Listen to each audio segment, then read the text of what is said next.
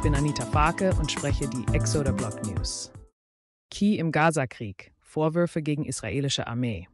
KI im Konfliktgebiet. Bedenken hinsichtlich des israelischen Militäreinsatzes.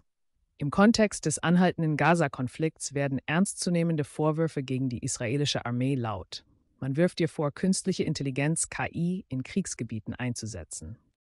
Experten aus dem Gebiet der künstlichen Intelligenz, Menschenrechte und Ethik äußern Bedenken über diese angebliche Praxis. Nach Untersuchungen von Menschenrechtsgruppen und Quellen aus dem Verteidigungssektor wird behauptet, dass Israels Armee fortschrittliche KI-Technologien gegen die Bevölkerung des Gazastreifens einsetzen könnte.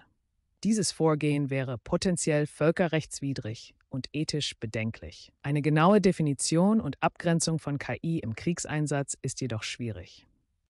Technologien, die auf künstlicher Intelligenz basieren, werden bereits heute in vielen Bereichen des Militärs genutzt, von Navigationssystemen bis hin zu Aufklärungsdrohnen.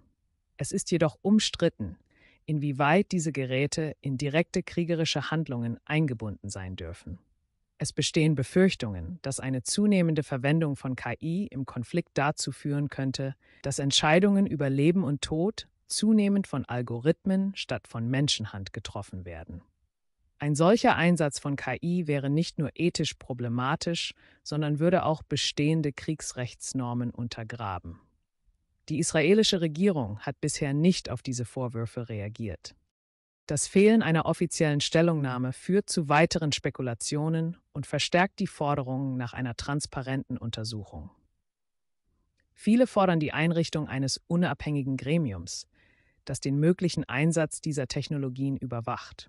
Es ist unerlässlich zu betonen, dass der Einsatz künstlicher Intelligenz im Kriegsgebiet und insbesondere gegenüber Zivilbevölkerung sorgfältig reguliert werden muss um das Risiko von Menschenrechtsverletzungen zu minimieren. Die internationale Gemeinschaft muss mehr denn je auf Technologieethik-Faspekt achten und zusammenarbeiten, um den verantwortungsvollen Einsatz von KI in Konfliktgebieten zu gewährleisten.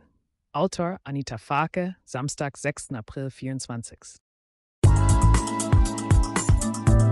Danke fürs Zuhören. Denk immer an eine möglichst nette Bewertung, um uns zu unterstützen.